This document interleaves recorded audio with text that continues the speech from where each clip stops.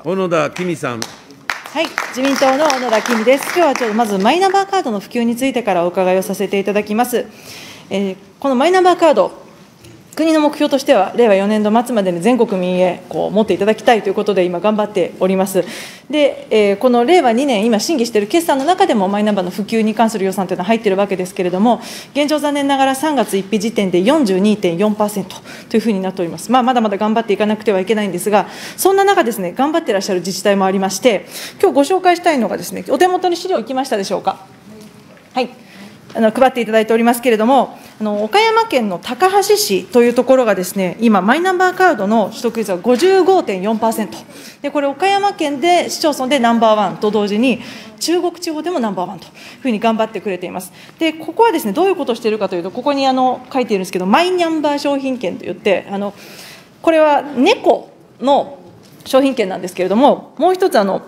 こういったマイナンバーカードといって、あのこれを見てたときにですね年上の先輩方がなめ猫を思い出すっていうふうにおっしゃってたんですがこういうあのマイナンバーカードのこう猫ちゃんバージョンみたいなのをおまけでつけたりいろいろな試みをしてくださってます。でこの三十郎さんという猫なんですけども実は岡山県の西日本豪雨災害があったときに、一番公共の被害額が大きかったのがこの高梁市というところで、その災害直後に備中松山城というところに住み着いた猫ちゃんが、このいろいろこの高橋の復興に関してだとか、このマイナンバーに普及に関しても活躍してくれてまして、今、高梁市マイナンバーカード伝え大使ということで、大使もされていらっしゃるのがこの三十郎というところなんです。でこの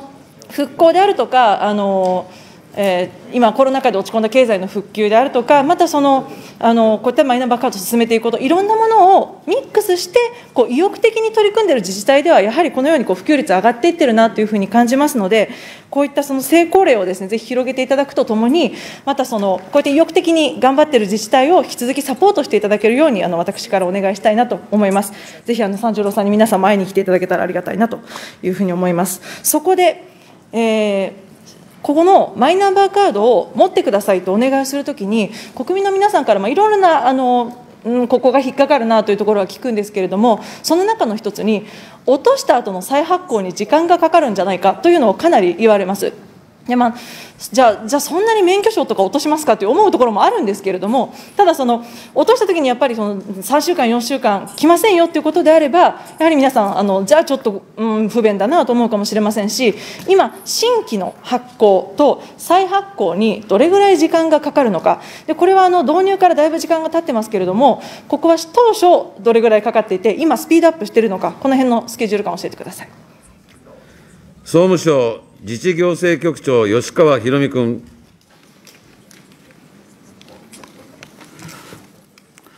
お答えいたします。えーマイナンバーカードの発行につきましては、申請をいただいてから、まず、えー J リスにおいて、顔写真の審査、カードの作成、電子証明書の発行などを行い、市区町村に発送いたします。えーそして市区町村において、最新の本人確認情報との照合などを行い、本人宛に交付通知書を送付することになります。申請から交付を通知するまでの期間でございますが、市区町村において交付準備を行う期間も合わせて、従来、おおむね1か月程度を要しておりましたが、これまで製造工程の見直しや機器の増強により、カード作成期間を4日間短縮できるようになりましたほか、郵送で申請いたしますと、それだけで2、3日余計にかかりますので、オンライン申請の推進などにも取り組んできたところでございます。また、市区町村の交付窓口や人員の増などにつきまして、国費により支援を行うなど、市区町村の交付体制の計画的な整備、充実により、交付事務の円滑化に取り組んでいるところでございます。小野田公美さん。はい今お伺いした限りと、まあ、オンラインを活用したところの日数、具体的には示されなかったんですけど、大体4日間ぐらいカード作成には短縮できたと、短縮できたことはありがたいし、頑張ってくださってるのはいいんですけれども、それだとやはりですね、あのいろいろこれからマイナンバーカードと一体化しようとしているカードにも弊害が出てくると私は思ってまして、例えば健康保険証、そして在留カードも今、話が出てます、あと免許証の話もありますよね、そうなったときに、じゃあ、在留カードとかだと、大体再発行でも申請して30分から1時間で出ます、で健康保険証は郵送だと1週間から10日、窓口に行くと即日あの再発行ができるというような状況の中で、そこに一体化している人が、かえってこう不便になるというか、ああ、私、一体化してるから3週間手元にないわというようなことになってしまったら、まあ、短期証とかいろいろその方法はあると思うんですけれども、いろいろなものとの連携というのが取りづらくなってしまうので、私はここをスピードアップしていかなくてはやっぱりいけないと思ってるんです。で、今、人員の配置とかの話をされたんですけれども、確かに他のカードに比べてシステムとか情報の重さが違うっていうのは分かってるんですが、ただ、この再発行まで3週間、4週間かかりますよと状況のままでは、連携していくことも難しくなるのではないかというふうに、例えばのあの外国人の方が来たときに、もうマイナンバーカードと一体化した在留カードをその場でお渡しするみたいなことはできないというような状況になってきたりもするので、ここのスピードアップ、絶対しなきゃいけないと思うんですが、具体的なシステムとして何が弊害になっているのか、今後そこをどうにかできないのか、ちょっとお考えをお聞かせください田畑宏明総務副大臣。えお答え申し上げます。あの、まず、あの、高橋市の三十郎のご紹介もありがとうございます。あの、大変勉強させていただきたいと思います。えその上でお答えを申し上げたいと思いますが、あの、先生ご指摘のあの、問題意識ですとかですね、これは本当に共有をしているところでございまして、まあ、今、局長から答弁ありましたが、あの、作成期間は18日から14日間ということで短くなっておりますが、まあ、それでもまあ2週間かかるということ、えその他にも窓口、市町村の窓口とかと手続きとかですね、郵送になればさらに日数がかかっています。えそして、え、いろんな、なあの、機能が付与されることに伴うですね、あの課題は、まあ、先生ご指摘の通りでありまして、えー、まずは、あの、さらなる短縮については、今後の技術の進展の状況ですとか、費用対効果も踏まえつつ、あの必要に応じてこれはしっかりあの検討していきたいというふうに思ってございます。えー、まあ、これまでも製造工程の見直し等に伴うですね、えー、発行の期間の短縮、オンライン申請など推進、まあ、取り組んできてはございますが、あの、さらなる抜本的な取り組みについてもしっかり考えていかなければいけないというふうに思います。で、その上ででございますが、やっぱり情報漏洩の観点というのは防止の観点ですね、これは非常に大切でありますので、安全性をしっかり担保した中で発行に努めていきたいというふうに思ってございますので、あのご理解をいただきたいと思います。小野田公さん。はい、問題意識は共有していただいているということでしたので、まあ、ありとあらゆるその技術の革新も含み、しっかりやっていただきたいなというふうに思います。活用とか連携に関してデジタル庁さん旗振ってくれたとしても、この発行の部分っていうのは、やっぱり J リス、総務省さんにしっかりしていただかなくてはどうにもならないところですので、ぜひ引き続きしっかりとよろしくお願いいたします。そしてですね、マイナンバーカード普及を、先ほど挙げたように高橋市とかもですね、こうじゃあ、そこで終わるんじゃなくて、例えば医療との連携、健康保険証との連携とか、住民サービスと連携させることで、より住民サービスを向上させていこうというこう前向きな姿勢で頑張っているところに、水を差す事件があったんですよ。これちょっと2枚目の資料をご覧いただきたいと思います。もう読みますね。マイナンバーカードと健康保険証の機能を併せ持つマイナ保険証を4月から病院で使った場合、患者が窓口で支払う医療費が増える。3割負担の人は初診時に21円、再診時に12円上乗せされる。マイナ保険証は政府が秋に本格導入したものの普及が遅れていて、取り組みを促すために対応病院の診療報酬を引き上げるからだ。唐突な患者へのしわ寄せに反発の声も上がっているということで、あの健康保険証とマイナンバーカードの一体化、私、ものすごい推してまして、将来こう、併用していくようなことをせずに、ちゃんと一体化していきましょうね、持ってもらうようにインセンティブをつけていきましょうねと言ってたらですね、ここに来て、持った人がお金を払わされるという、ありえない状態になってます。でこれちょっと私報道で知ってなんじゃこりゃと思ったのでなぜそもそもこういうことになったのかなんでこんなことするのかちょっと厚労省さん教えてください。お願いします。厚生労働省大臣官房審議官榎本健太郎君。お答え申し上げますえマイナンバーカードを保険証として保険証として利用できるオンライン資格確認につきましては、えその普及が大変重要な課題でございます。そのためには、そのオンライン資格確認を利用できる医療機関などを増やしていくということ、そしてまた国民の皆様が医療機関などで、えマイナンバーカードを健康保険証として、利健康健康保険証として利用できるということを周知をしていくということ、こういった2つの面からアプローチをしていくことが必要であるというふうに考えてございます。で特に医療機関等におきましては、あの今後、令和5年3月末までに、おおむねすべての導入を目指しているところでございますけれども、現状、顔認証付きのカードリーダーを申し込んでいただいている医療機関等は全体の約58%程度という状況でございます。そしてまた実際に運用を開始した施設は、このうち全体の約14%強というのが現状でございます。このため、医療機関などでのその導入加速化に向けまして、一つは医療関係団体の皆様に推進協議会を新たに設置をしていただいて、連携した取り組みを進める。それから、令和4年度の診療報酬改定におきまして、オンライン資格確認システムの活用にかかる評価を新設をして、利用を促進していく。そしてまた、状況や種別等、その医療機関の等の特性に応じた導入支援、働きかけを強化をしていくといった取り組みによって集中的に取り組んでいるところでございます。で、そういった中で今回新設されました評価にかかる窓口負担について今、あの、記事をご紹介いただいたところでございますけれども、これは今申し上げた取り組みの一つとして、令和4年度の診療報酬改定において、診断及び治療などの質の向上を図るという観点から、外来で過去の薬剤情報や特定検診結果などの情報を活用して診療が行われた場合などに、えー初診料などに新たな加算を設けて評価をするということとしたものことによるものでございます。で、この場合、あの通常の診療報酬改定と同様に、窓口負担が生じることとなりますが、え国民の皆様には、自ら同意していただいた上で、過去、あの、それ、その、それそれぞれの方のその過去の薬剤情報や特定検診の結果を医療機関などに提供することで、より良い医療が受けられるメリットがあるということに、えーなりますので、そういった点について、えー丁寧に周知広報をして、ご理解いただけるように努めてまいりたいと考えてございます。でいずれにいたしましても、医療機関などの導入支援と、国民の皆様への普及啓発の双方を車の両輪として進めて、オンライン資格確認かオンライン資格確認の普及に全力で取り組んでまいりたいと考えてございます。小野田公美さん。あの医師である羽生田先生からも逆効果だよというあの声も入っておりますし、あのこれ、逆効果ですよ、あの取り組みをね、医療機関を窓口で使える医療機関を増やしていこう、それはそうです、だからあの集中して予算をつけたわけじゃないですか、その機会をしっかりあの窓口に置けるように。で、これからもあのありますよ、その柔道整復師どうするんだとか、訪問看護と訪問診療どうするんだとか、そういった課題もあると思いますけど、そのいお薬手帳とかいろいろそのオンラインでいろいろな服薬指導とかそのメリットを享受できるのはカードをきちんと持って効率化をしていくことによってメリットを享受しましょうっていうのは分かるんですけどメリット享受したかったらちょっとお金払ってねってそれがちょっとやっぱり私からしたらちょっと何をおっしゃってるんだろうとしか思えなくてであのこういうあのなんかもっともらしいことをおっしゃるんですけども結局水を差すその私たちが求めてたのは逆にこの健康保険証と一体化したカードを使ったらお値段がお安くなるとかそういった具体的なメリットを享受できるような状況になっていかないと普及できませんよねっていう話をしてたはずなのに突然逆張りされるとこれはちょっとやっぱり国民の皆様に私も説明できないですしあのご理解を求めていきたいと言いましたけど理解は私もできないし国民もなかなかできないと思うのでこれやっぱ考え直してほしいです。であの往々にしてそのデジタル庁がマイナンバーカードの普及とかいろいろしてくださってるんですけれどもこのかつ各省庁が握ってること決断できるところにどこまでハンドリングできてるんだろうと思ってましてこういうその独自のことをされるとせっかく予算つけて普及しよう普及しようって自治体も頑張ってるのに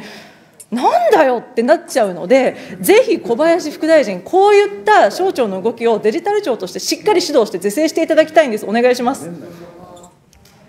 小林文明デジタル副大臣。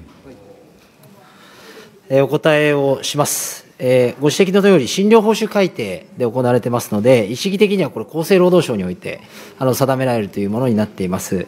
あの一方でご指摘のところはですね、まさに関係省庁で議論されていて、本当に全体最適になっているのかということをデジタル庁でしっかり見るべしと、まあ、こういうことだというふうに思っています。あのそこはあのしっかりやってまいりたいと思ってまして、あのマイナンバーカードに含めてついてもですね、利用促進の観点から、まあ、関係省に働きかけるべきところは、しっかり働きかけるということで、あの丁寧に取り組みを推進していきたいというふうに思っております。小野田公さん。デジタル庁としても苦しい立場だと思います、各省庁があの責任を持って仕切っているところになかなか口出しできないところもあると思いますけれども、小林副大臣、あのこれ全部ね、分かってらっしゃって、前向きに進めていこうというあの情熱をお持ちなので、ぜひここは踏み込んで、しっかりとあのハンドリングをお願いしたいと思いますし、厚労省さんもう一回考え直していただきたいなど、私からも今一度お願いを申し上げます。さあ、続きまして、緊急春節推進事業について、これですね、あの要はうちも西日本豪雨災害があったときに、堤防を強化して川が氾濫しないようにっていうふうにするんですけれども、堤防を1メートル強化しても、そこにですね流れてきた土砂が堆積して、1.5メートル土砂が堆積してしまうと、せっかく堤防高くしても、あの川のキャパって変わらないというか、むしろ少なくなってしまう、これはやっぱり春節って言って、稼働掘削をしていかないと、洪水が防げないんですけれども、この春節の予算っていうのをどこも苦慮しておりまして、でなかなかその取らないと次雨降ったら危ないと思ってるのに、やっていけなかったという苦しい状況がございました。そこで国交省の予算だけではどうにもならないというふうにあのお願いをしておりましたら、ありがたいことに総務省さんがこの緊急春節推進事業ということで、もうほぼ国が全部充当100%で自治体がやると言ったら、この春節ができるようにしてくださった、本当に感謝してます。この予算の消化率と、まあ、今後の展望を教えてください。金子康総務大臣。えー、小野田先生のご地元、岡山の大水害、私も現場に行って見させていただきました。そして、あの、えー、おととしの令和2年7月豪雨災害、えー、松村委員長、そして私の地元が大水害が起きました。本当にあの、えー、自然災害のえー、頻発化、激甚化というのは非常にもう有識ことでありますし、えー、防災減災対策をやらなければいけないというのは喫緊の課題であると思います。えー、河川あの氾濫などの被害を未然に防ぐために、地方単独事業として自治体が河川などの春節を実施できるよう、令和2年度に緊急春節推進事業祭を創設いたしました。この事業の令和3年度の活用実績は、地方債計画額1100億円とに対し、同意と同額914億円となっております。この事業に取り組んでいる自治体からは、えー豪雨時に河川氾濫や、えー道路冠水などが発生しないなど、大きな防災効果があったとの報告を受けております。えーこうした先行団体の事例などを紹介しつつ、えー関係省庁とも連携を図りながら、えー自治体における春節事業をより一層促してまいりたいと思います。委員長小野田公美さん。ありがとうございます。本当に重要な事業なので、一応、これ令和6年度までとして、緊急的にやろうというふうに組んでくださっている予算なので、まあ、だらだらやればいいというものではないと、緊急的にやっていこうというのはもちろん分かるところなんですけれども、土砂っていうのは一回取ったらきれいになるんじゃなくて、またあの川が流れるたびに溜まっていくものなので、こういったあの自治体のニーズに沿って、ちゃんと予算が消化されているもの、ぜひあの事前防災の観点からも引き続きご支援をいただきたいというふうにお願い申し上げます。続きましてプラス、プラスチック規制についてお伺いします。今日先ほどあの議論にもありましたけど、このプラスチック、4月からまたいろいろ規制が強化されるわけですけれども、このさまざま行ってきたプラスチックの規制に関するプラスチックの削減効果っていうのは出ているんでしょうか？で私、心配しているのが、国内で規制した結果、輸入プラが増えたみたいなことはないのかなと心配してまして、例えば割り箸が悪者になった時も、あれ、割り箸って間伐材を使って、その山をこう守っていくために出た間伐材をこううまくリサイクルしてっていう非常にエコな試みだったんですけど割り箸は悪だと言われ一回その割り箸の中小企業業者も使われなくなりましたほんでやっぱり必要だから中国からごっそり割り箸が輸入されるようになりましたっていうなんだこれはという状況をもたらしてしまった、こんなことにまたプラスチックもなってほしくないなという思いで、まあ、今現在のプランの削減効果、そして輸入の状況はどうなっているのか、こちら教えてください。環境省環境再生資源循環局長、室井康弘君。お答え申し上げます。2020年7月に実施したレジ袋有料化の効果として、レジ袋の国内流通量が実施前年の2019年に約20万トンであったのに対し、2021年は約10万トンと半減する見込みである一方、ゴミ袋の国内流通量については横ばいとなる見込みであり、一定の削減効果はあるものと認識しております。えレジ袋とゴミ袋それぞれについて、え2019年から2021年の国内流通量の推移の内訳でございますが、レジ袋については国内生産量が横ばい、輸入量は約10万トンに半減、する見込みでございます。ゴミ袋については国内生産量が微増する一方、輸入量は微減となる見込みでございまして、輸入量が増えているという実態はないというふうに認識をしております。小野田公美さん。はい、安心いたしました。それは良かったと思うんですけれども、今日資料を配らせていただいております、4ちょっと1枚、1枚はぐって4ページ目を見ていただきたいんですけれども、これ実際ですね、レジ袋有料化した効果、こんなにありますよっていうので、例えばレジ袋の使用枚数、ドラッグストアで33億枚が5億枚に、あら、84%も減少とか、先ほどご答弁いただきましたように、国内流通量が20万トンから10万トンに半減したと、ここの数字だけ見てたらですね、あら、素敵じゃないですかと思うんですけれども、この3枚目に戻っていただくと、ゴミ袋の市場で、内需は先ほど言ったように横ばいなんですよ。で、生産量は増えてるんですね。輸入量は若干減ってるんですけど、国内出荷量とか微増で、削減効果ありましたと書かれている資料とちょっとなんか合わないなというか、実際問題使われている量、ほぼ変わってないと、ここはどう読み解くべきなのかなと思ってまして、私、部会などでも言ってたのが、レジ袋削減っていうのはいいんですけども、結局、家でゴミ袋使いたいなってなったときに、今までスーパーでもらってたレジ袋なくなったから、ちょっと100均で買ってこようとか、ちょっとあのネットでポチろうとか、そういうその結局、使ってるんじゃないかってなったら、その効果を調べるときに、お店でどれだけこう辞退しましたかとかって、あまり意味ないんじゃないかなとちょっと思っておりまして、この削減効果のところで出していただいている数字と、実際のゴミ袋の消費量に大きな乖離があるというところを、どのように捉えられていらっしゃるのか、もう一度ちょっとお聞かせいただきたいです。環境省、室井環境再生資源循環局長。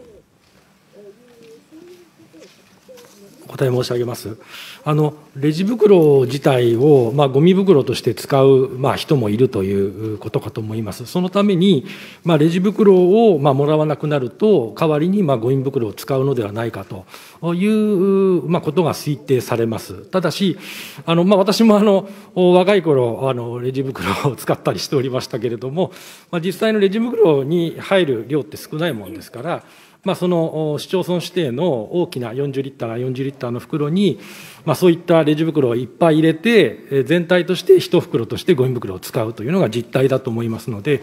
実際のところ、そのレジ袋が使われなくなったとしてもですね、ゴミ袋の需要っていうのは、まあ、あの横ばいにならざるを得ないのかなと。ただ、あのこちらのあの先生お示しのあの表でございますけれども、あの内需として、つまり使われている量としては、ほぼちょっとだけ減っているというのは確かでございますし、その部分は輸入量の方に、まあ、あの生産量と輸入量を比べていただきますと、圧倒的に輸入が多いもんですから、あの輸入量が減る方に、まあ、あの影響を与えて、まあ、生産国内での生産量がまあ逆にちょっと増えてしまったと、ただ、あの使われている量自体は、この表でお示ししていただきましたように、若干減っていると、そういう実態だと思います。委員長小野田公美さん。あの輸入の心配はもうなくなったんで大丈夫なんですけど、あの要はそのこう削減効果こんなにありましたって結構答弁をいろんなところでされてらっしゃる割に結局そのおっしゃったようにこう今までポコポコポコポコ貯めてそれを指定のゴミ袋に行って、まあ、まさに同じことを私もしてるわけですけど、そういうことをするという流れは変わってないわけで、結局必要とされてるからこの内需ちょっと減ったよって言ってるけど本当にちょっとなので、そのプラ具袋の削減効果ありましたっていうこと自体が私はちょっとこれうーんと疑問を抱かざるを得ないんで何を目的にしてるのかお店でレジ袋をもらわないことを目的にしてるのかこのプラスチックの袋を使わないことを目的にしてるのかって考えたら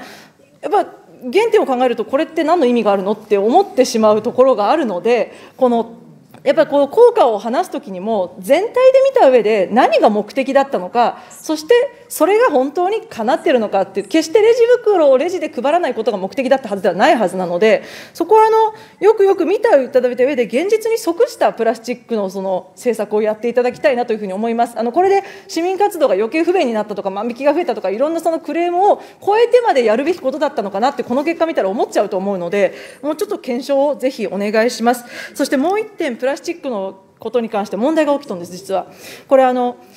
プラスチックってもともと石油とかからできているので燃やす時にカロリーになるんですよね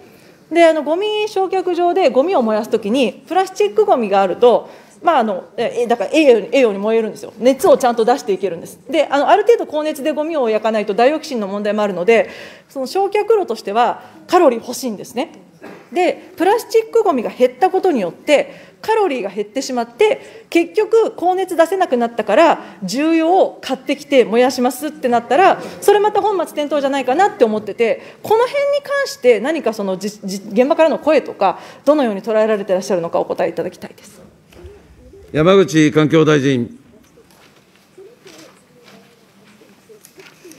まあ、焼却時の熱量低下の懸念については、そのプラスチックの分別収集が進んでも、まあ、基本的には現在、広く普及している焼却量では、重油などによる除燃の追加は必要ないとまあ考えています。ご指摘のような小規模なクリーンセンターにおける運営も含めて、ご不安を抱えておられる市町村に対しては、実情をよくお伺いした上で、市町村と一緒に必要な対策の検証等を行ってまいりたいと思います。あの先ほどちょっと私、手を挙げさせてもらったのは、あのプラスチックについては、もう少しおっしゃるとり、大きな枠組みで見ていかないといけないと思うんです。でそれはあの世界全体で、この海洋プラスチックも含めて、プラスチックごみをどういうふうに少なくしていこうかと。で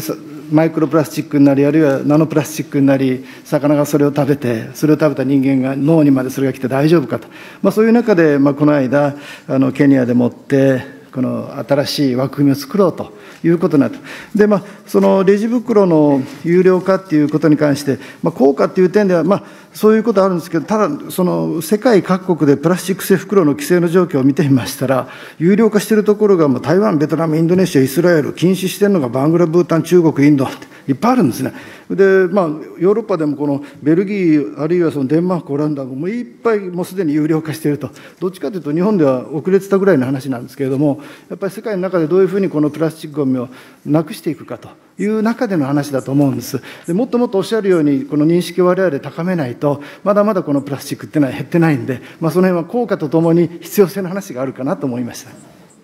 小野田公さん、はい、ありがとうございます。あの有料化してるのが遅かったっていうんですけど、まあ、目的は有料化することじゃなくて削減することなのでそこの効果が出てるかどうかっていうのが重要だっていうふうに話なのでぜひよろしくお願いします。でさっき言ったように大きいところはそんな影響ないっておっしゃったんですけども私も小さい焼却炉を持ってるところにちょっと何個か話を聞いてみたら今でも結構困るのにこれ以上減ったらいやちょっと本当分別回収したプラスチックごみを焼却炉にぶち込むしかなくなるかもしれませんっていうようなお話をされる人もいるのでそこはあの小さいところのクリーンセンターの実情にもよく寄り添っていただいてこの燃料が高騰している時に結局プラスチック燃やしてればそれで済んだ話なのに重油買わなきゃいけないよなんてことがないようにしっかりとあの後押しをしていただきたいという実態に合わせてちゃんと対応していただきたいなと思います。そして最後、えー、国政選挙にかかる費用について、あの国政選挙、令和2年も補正予算が入ってましたけれども、この候補者1人当たり、われわれはその公費で、例えば選挙はがきであるとか、ポスターであるとか、選挙カーであるとか、公費で選挙に出たら、公がお金を負担してくれる選挙費用がたくさんあります。でこれの公費でかかっているのは、1人候補者1人当たりどれぐらいのお金かかってるか教えてください。総務省自治行政局選挙部長、森源二君。お答え申し上げます。令和元年参議院議員通常選挙における予算額について、選挙公演に要する経費全体の予算額152億円を、令和元年参院選の候補者数370人で割った候補者1人当たり公営費は約4100万円でございます。小野田公さん。はい、約4100万円ということでした。で、平成19年とか、まあ、いろいろその年によっては5000万近い時もあるんですけれども、私は民主主義にはある程度、そのお金は必要だと思ってます。ちゃんと民主主義を実現するために、そこに投資をすることは悪いことではないというのを思った上で、いろいろその、公職選挙法ってスクラップビルドじゃなくてビルドビルドビルドというか昔のものを見直さないままそのまま次の例えばネット選挙できますよとかやったりするので果たして